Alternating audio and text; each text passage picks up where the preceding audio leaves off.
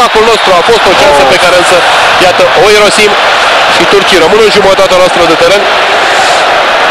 Ne va crește teribil uh, tensiunea Vivi Răchită în acest meci dacă va continua să se desfășoare în acest mod.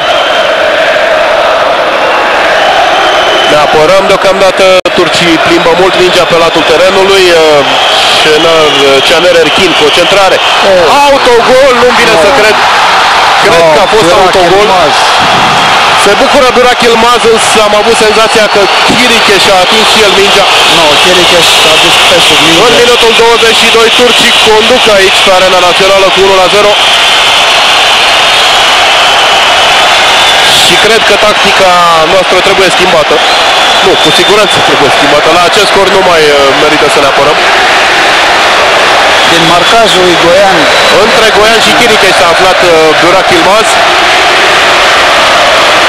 Da, el este cel care a lovit mingea cu capul. Și Tătărușanu este învins uh, aici pe arena națională.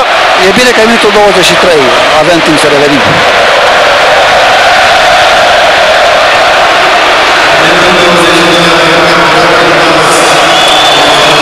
Este al 10-lea meci pe care al 10-lea meci pe care Naționala României îl dispută pe arena națională. Până acum aveam 4 victorii, 4 egaluri și o singură înfrângere.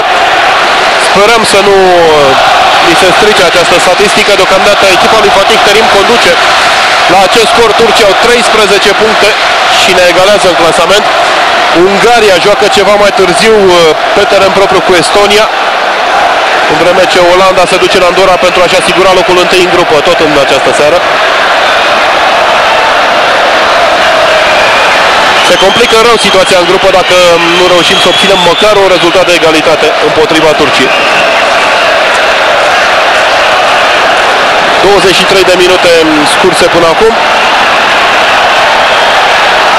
Turcii au deja avantajul și este rândul nostru să încercăm să atacăm. Excelent. Mățel a primit de la Torge. Mățel a ridicat privirea. S-a uitat Marica! în greu. Pentru Marica este această minge. A ieșit Volcan de Mirel și a boxat. Apoi uh, vine degajarea lui Arda Turan.